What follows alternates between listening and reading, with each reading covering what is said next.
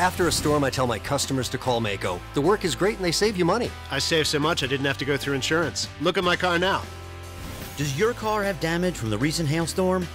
Maaco can save you up to 33%.